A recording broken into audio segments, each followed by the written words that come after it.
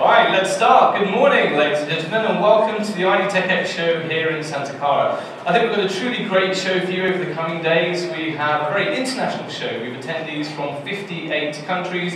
We have speakers coming from over 280 uh, companies and some 3,500 people here. So plenty to see, uh, learn about, and hopefully many new connections to be made. Now, for those of you who've been before, you probably realise this event is quite unique. It covers seven key emerging technology areas, which are shown on the slide here. And the reason why we chose these is that there's huge growth and opportunity occurring in each of these sectors.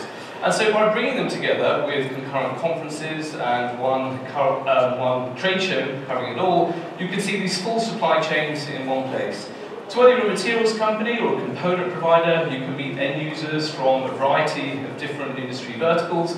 And if you're coming from one of those verticals, you can see the new capabilities coming through from components and materials which will allow you to hopefully differentiate your products and grow your businesses.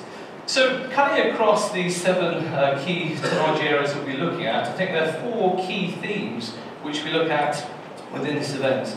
The first is the huge range of enabling materials and manufacturing advances that we'll be looking at. So we'll be covering everything from conductive inks to quantum dots to die-attached materials and much more. And these are enabling a huge range of new opportunities in different sectors. The second key theme, which I think comes across many of the different topics we look at, are the new form factors of electronics. So moving away from rigid uh, circuit boards in boxes to devices which can be flexible, stretchable, and even structural electronics. We then also have the theme of the increasing ubiquity of electronics enabled by IoT, uh, sensors, we have more things, more electronics getting into things such as clothing and wearables. And carrying across that as well is that we have huge change happening in industries, whether it's consumer electronics, mobility or retail. And this change is being driven by many different things. It may be governments who are seeking to uh, be more environmental, or it could just be greater demands from consumers.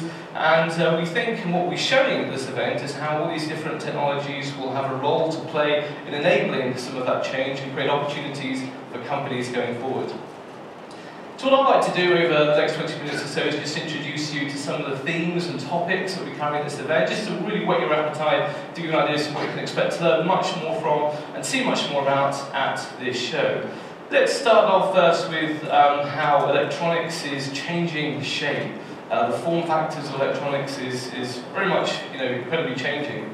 For the last 60 years or so, if we look at developments around electronics, they're getting smaller, they're getting lower power, um, and um, they're getting faster. But the race is being on for that, and people are spending billions of dollars to build the next new best fab. Um, but that's where all the competition has mainly been about. Very surprisingly, not many organizations have really looked at um, changing the form factor and shape of electronic, which has pretty much been the same for the last uh, 60 plus years until now. You know, at this event, uh, one thing which we think is very exciting is how electronics is changing form factor. It gives companies a new way to compete. A few examples of that are products which are being invigorated. If we look at the smartphone market, the tablet market, this is fairly flat in terms of growth. And that's one of the reasons why so many companies have invested billions of dollars in creating things such as plastic-based displays and foldable displays. And you can see some of our data on this chart here. Over the coming years, that will rise to a fairly significant market, $20 billion of foldable displays alone. And yes, the first versions were problematic. These are hard challenges to, to resolve, but for those that can do it and can get there first, then there's huge opportunities for those companies going forward. It's not just about foldable displays, it's also about reinventing and radically changing human-machine interfaces thanks to technologies enabling 3D electronics. An example of that is um, in-mold electronics, one of the topics within structural electronics that we cover at this event, and that's a market we think growing to at least $1 billion 10 years from now. So form factors is one theme of the event, um, but it's not just about improving existing products or user interfaces. Uh, with new shapes of electronics, we can also create new markets, things that weren't feasible before uh, because we didn't have these capabilities before. And in a lot of these cases, half the work is only in inventing the technology. Then there's a lot of work needs to be done in actually creating the product, which didn't exist before, and also creating the market for it. And we hope that in our own small way, this event helps uh, with organizations involved in that sort of quandary by bringing together different brands and different creative people within large organizations seeking growth and differentiation, along with the companies who are providing these different capabilities.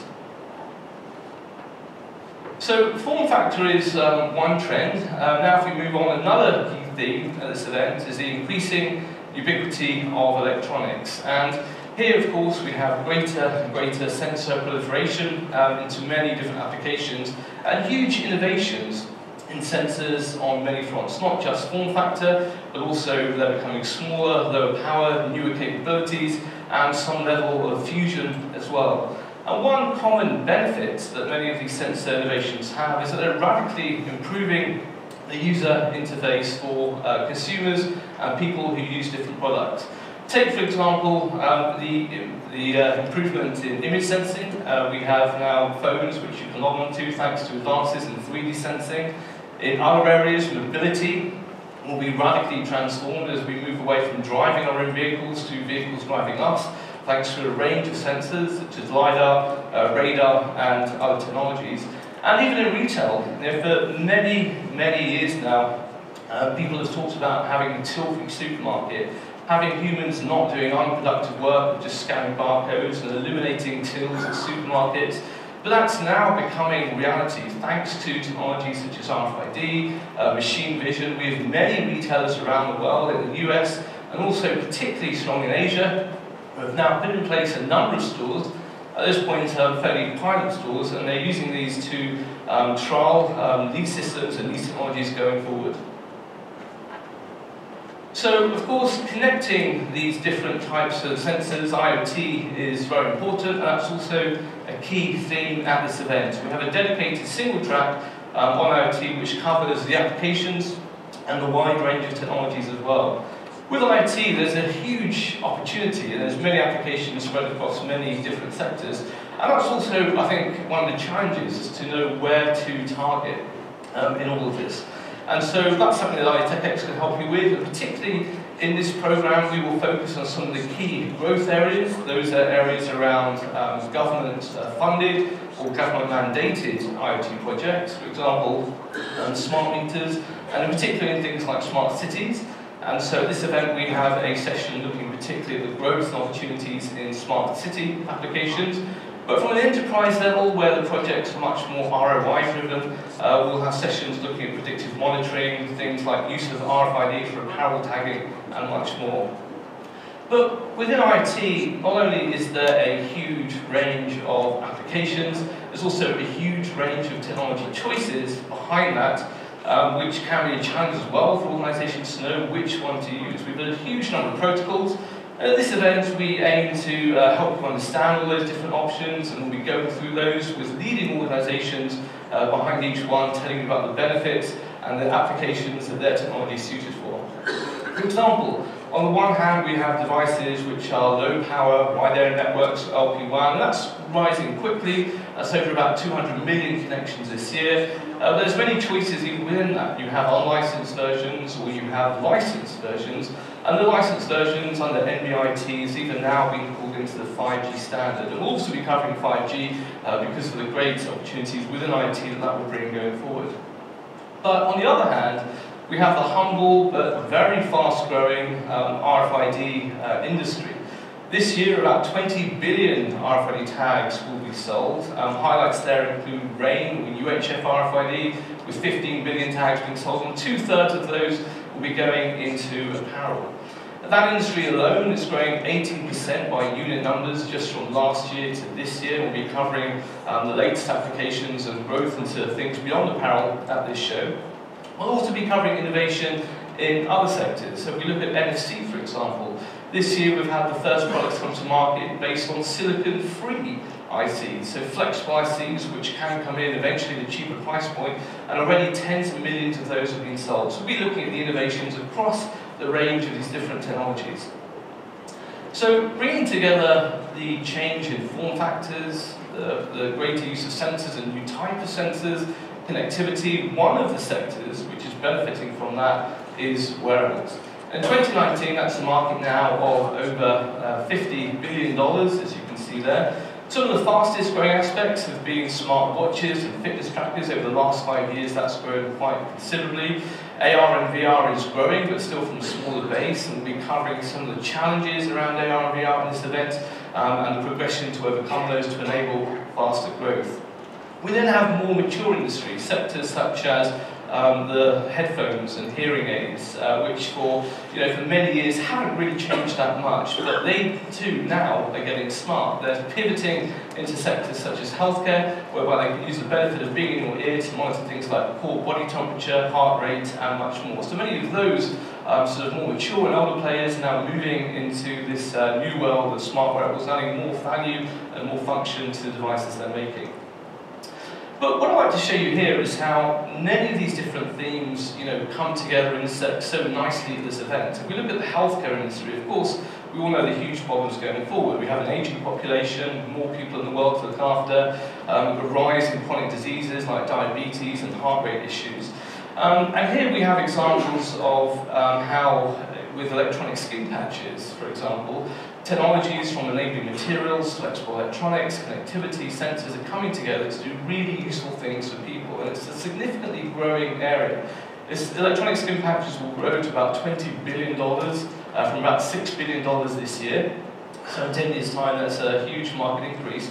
And in fact, we see medical wearables as the fastest growing category within wearables as a whole over the next five years or so, doubling in size to uh, just under $20 billion. So uh, it's a really nice intersection of many different technologies, and as such, we'll be covering healthcare across many of the different streams at this event. It's even related to being enabled by many of the different types of materials which going to show, whether it's um, arrays of carbon nanotubes or graphene, which are now being increasingly deployed for breath sensing to monitor a variety of elements. We're covering those sorts of material-related innovations relating to healthcare as well. Now, another industry which is undergoing a radical amount of change is mobility. And this is happening in several phases. Of course, the first phase is we have the um, the move from internal combustion engines to electric vehicles, and that's coming about because governments around the world at different rates are really mandating that and enforcing that. But we then also have the second wave, which is the greater rise of autonomy. So as vehicles become more and more autonomous and we move to mobility as a service, there's less need for people to buy their own car. And so between 2028 to 2031, depending on how aggressive the model is, uh, we see a peak passenger car scenario, um, and thereafter people call these vehicles on demand as when they need them. So if you're an OEM in this room, or if you're supplying into the vehicle industry, then there's lots to think about as to what your company needs to do beyond uh, this 10-year time frame. And at this event, um, you know, we explore many of the huge opportunities going forward in different types of electric vehicles, whether it's um, electric tractors, which may seem niche but, niche, but these are huge niche sectors, all the way through to other types of land, water, and air electric vehicles. And again, as an example as to how all the different technologies that cover this event um, by the companies in this room relate and come together into the mobility space, we see there's opportunities whether you're in material supply, you know, as we move to more and more electric vehicles, that means moving to things like power electronics, and there you have issues around heat management. Um, there's also issues and opportunities for getting to lighter weight vehicles, and so there's huge opportunities there for material companies. Of course, within the electric drive chain, there's opportunities for companies to create motors and many other aspects. One of the key highlights will be energy storage where the value of batteries um, will be a significant part of the overall car and the huge opportunities for those in the energy storage uh, supply chain.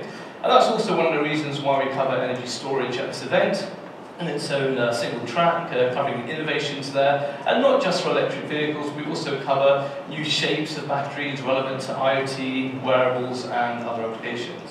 And then for those of you who are involved in sensors or connectivity or flexible displays, all of those have application in uh, electric vehicles going forward as well, which is one of the reasons why we cover that topic along with healthcare and others at this event.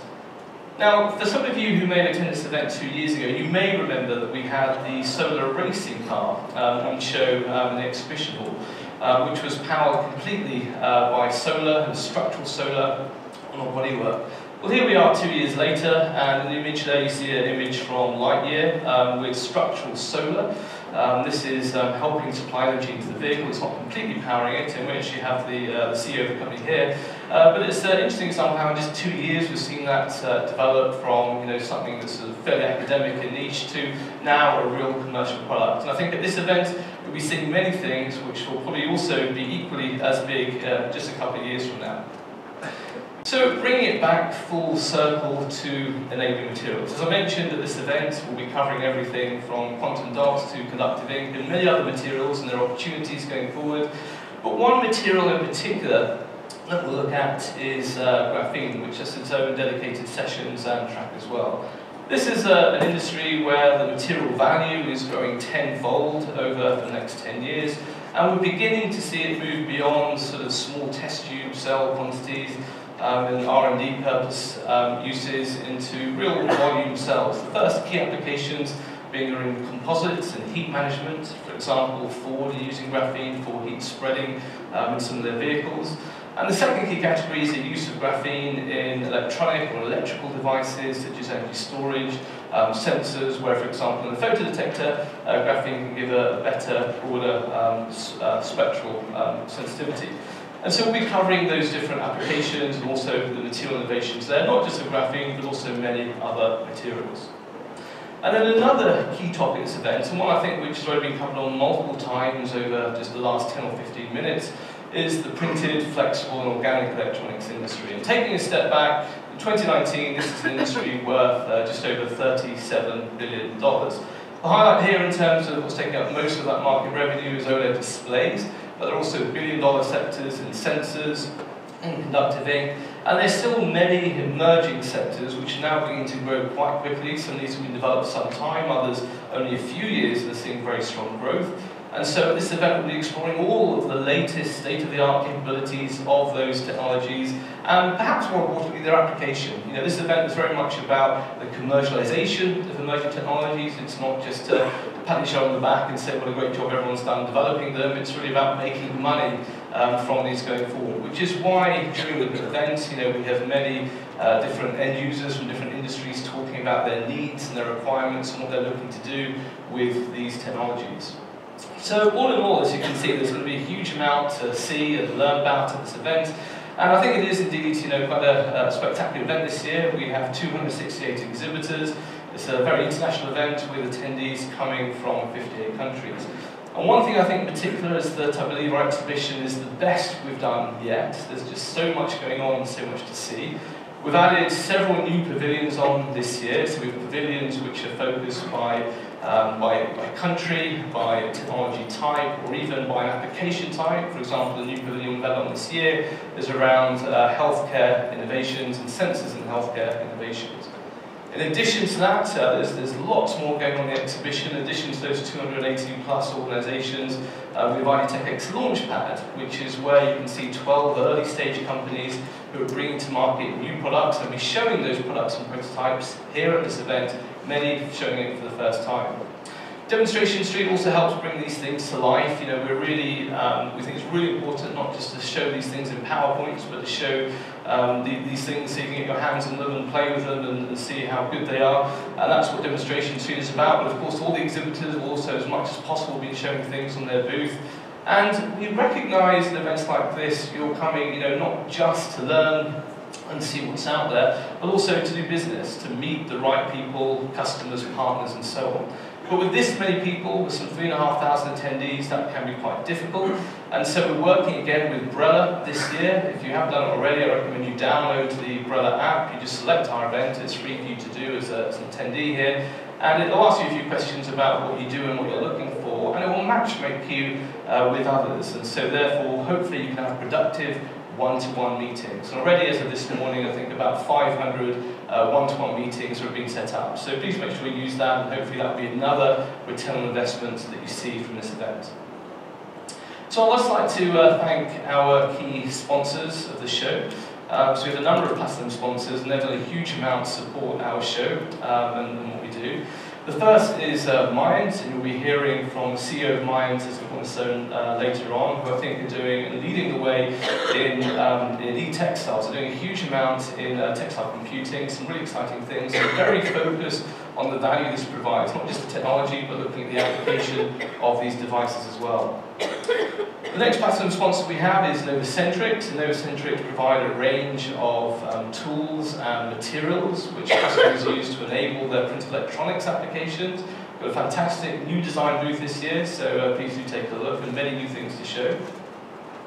And then we have the RAIN RFID Alliance, who are a um, subsection of the AIM Alliance, which is a not-for-profit group um, and they're a membership organisation aimed at accelerating the adoption of passive UHF RFID. And going by the rate of sales of UHF RFID over the last few years, I think they're doing a pretty good job.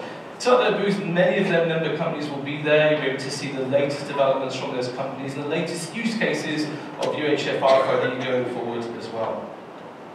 And then also a big thank you to Xenon. Xenon provide pulse light solutions. A lot of their equipment will be on show here. This can be used for a variety of applications, but particularly in relation to this event, um, they're helping companies um, enable their print electronics um, products and uh, manufacturing. And of course, we have many more. I'd particularly like to thank our gold sponsors, but um, the exhibitors, and also everyone in this room. Thank you for coming. I know you've made an investment in your time and money to be here.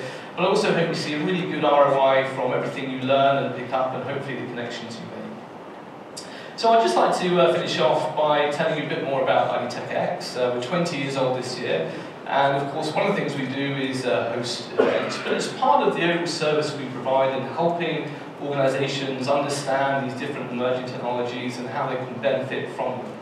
We have a team of really good technical analysts, and so they work alongside our clients on technology appraisal, which includes uh, deep technology benchmarking, technology scouting, company profiling. I think one of our real strong uh, you know, strengths is our analysts are very technical, and so we can really understand and analyze these technologies versus other types um, and therefore really understand the best applications for.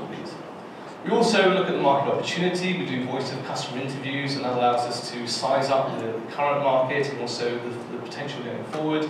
And we provide uh, strategic guidance and these platforms and events to showcase products and have services such as subscriptions, providing data on an ongoing, timely basis, which is curated uh, globally from organizations that we visit. So if you'd like to learn more about us or how we can help you, and we'd certainly like to learn more about your businesses, then please do approach our booth, which is M20 on the exhibit floor. So that's the uh, brief introduction. Hopefully um, it gives you some ideas to some of the huge range of different things we'll be covering at the show. We've got a really fantastic lineup of corner speakers who each in their own way will be covering a couple of the different topics I've mentioned and how these things tie together for their organizations. Thereafter, the trade show will open, and then after that, uh, we'll come back and we'll have separate conference tracks for each of the different topics I've mentioned. And of course, as a conference attendee, you're free to uh, move between those because there is so much overlap between those different topics. So let's go. The next speaker, uh, Dr. Gayatri Dadheech from that uh, uh, not so small company, General Motors, um, and she'll be presenting on everything from energy storage to flexible displays into electric vehicles. So uh, welcome, Gayatri. Thank you.